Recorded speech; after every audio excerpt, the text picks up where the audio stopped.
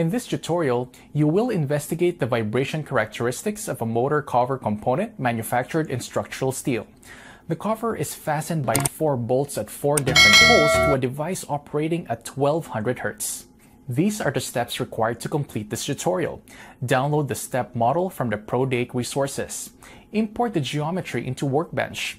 Create holes on the model and apply thickness of 1.2 millimeters generate mesh and specify boundary conditions, solve the analysis, retrieving the results, analyze the data, play and save the animation, save the project.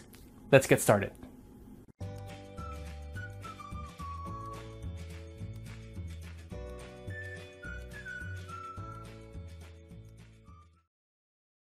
That was the brief introduction of this session. Now launch ANSYS Workbench session and close the welcome window.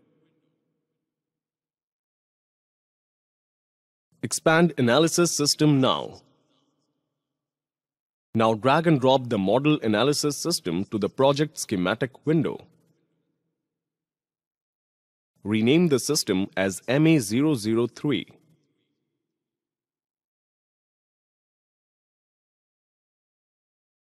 Now choose the Save button from the standard toolbar. A pop-up window appears. Browse the location to save the project. Enter the project name MA003 and click on Save button. Right-click on Geometry cell choose Import Geometry and browse from the shortcut window. Browse to the file MA003 file which you have downloaded already from Prodac Resources library. Click on Open button. Now the file is uploaded in the Modal Analysis System. Double-click on the geometry cell. The mechanical window is displayed.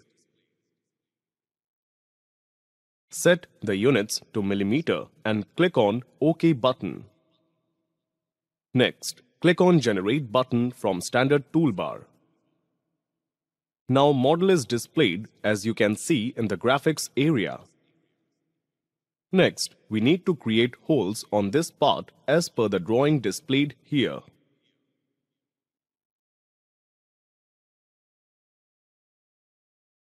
Select ZX plane from the tree outline to specify it as sketching plane.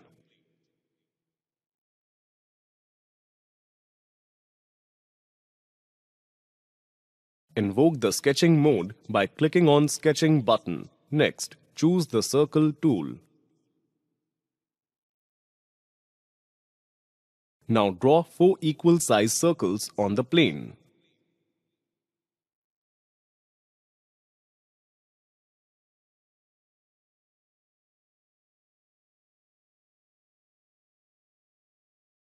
Now we need to constrain the sketch. Select Constraints, then choose the Symmetry option. Select Vertical Center Line and then select Circle Centers one by one.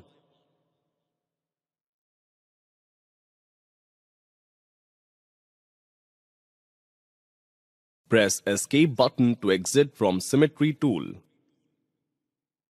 Again choose the Symmetry option. Select Horizontal Center Line and then select Circle Centers one by one.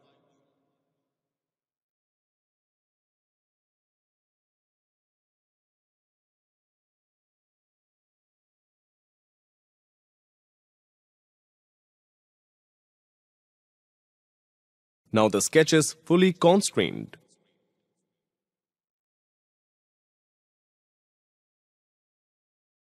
Expand the Dimensions toolbox in the Sketching Toolboxes window. The General Dimensioning option is already selected by default, so no need to select it again.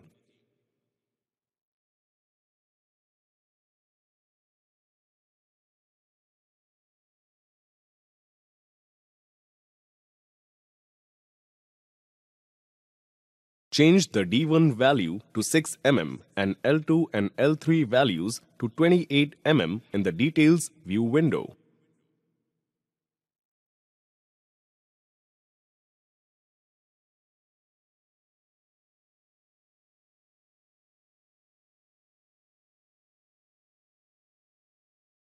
Now select the Extrude tool to cut the holes and click on Apply button in the Details view window.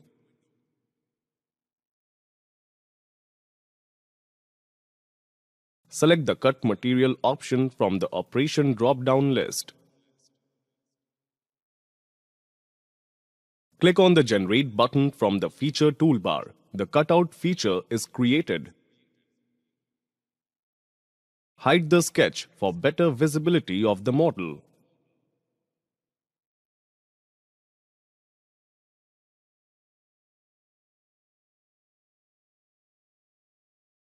Now, close the Design Modeler window.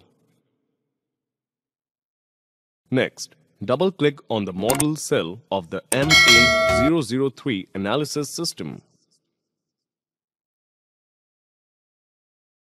The mechanical window along with the attached status message box is displayed. After some time, the attached status message box disappears and model is displayed in the graphics screen.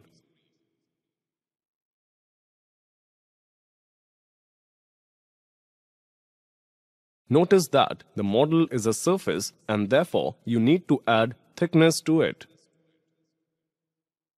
To do that, expand the geometry node and then select part 1 displayed in it. The details of part 1 are displayed. Expand the definition node if not already expanded. Enter 1.2 in the thickness edit box to provide a thickness to the model. Right-click on the mesh from the tree outline and select Generate Mesh from the shortcut window.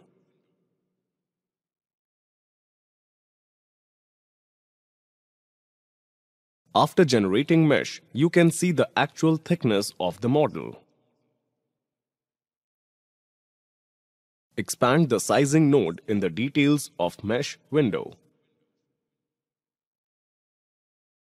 Select the option on proximity and curvature from the Use Advanced Size Functions drop-down list under the Sizing node. Scroll down and enter 1.5 in the minimum size edit box and press Enter key.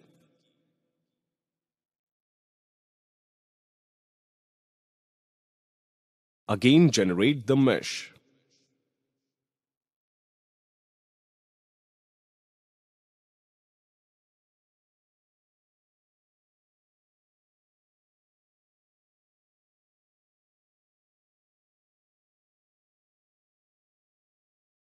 Select the model node in the tree outline. The environment contextual toolbar is displayed. In the Environment contextual toolbar, choose the Fixed Support tool from the Supports drop-down.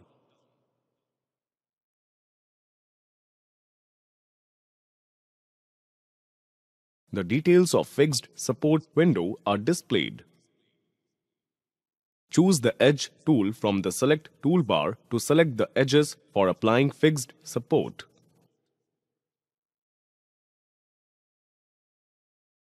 Hold the Control button and select the edges of the holes.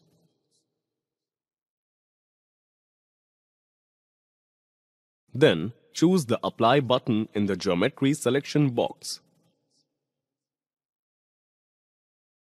The fixed support is applied to all four holes. Select the Analysis Settings. Details of Analysis Settings window are displayed.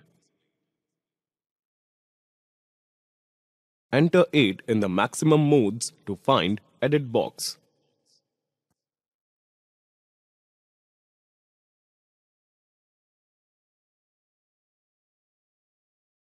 Next, select the Solve tool from the standard toolbar.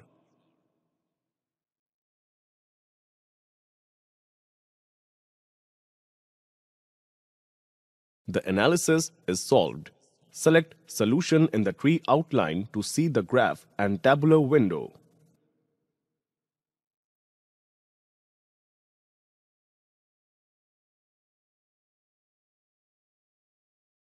Right-click in the graph window, shortcut menu is displayed. Choose Select All from this shortcut menu. Again, right-click in the graph window and choose the Create Mode Shapes Results options. Total deformation results are added under the Solution node in the tree outline. Right-click on the Solution node and then choose the Evaluate All Results option. Now, select Total Deformation under the Solution node in the tree outline.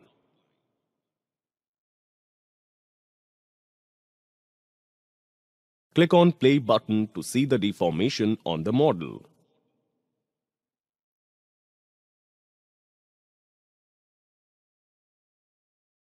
Similarly, select remaining total deformations and check the natural frequency and corresponding deformation.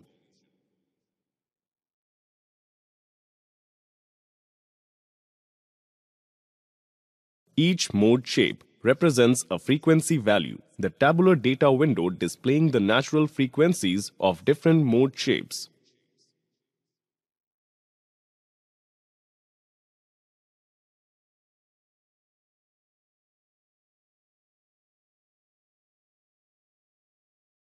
The minimum deformation in all the cases is 0 because the model is constrained with the help of bolts and there is no deformation near the constrained edges of the model.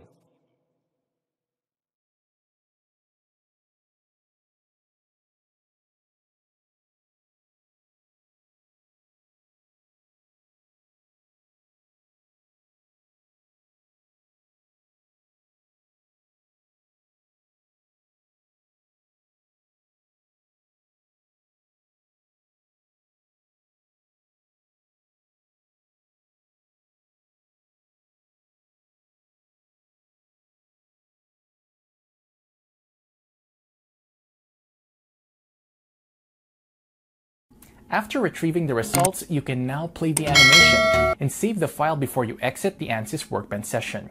If you have any questions, you can find us on social media, chat with our specialists online, or drop us an email. Thanks for tuning in and have a great day.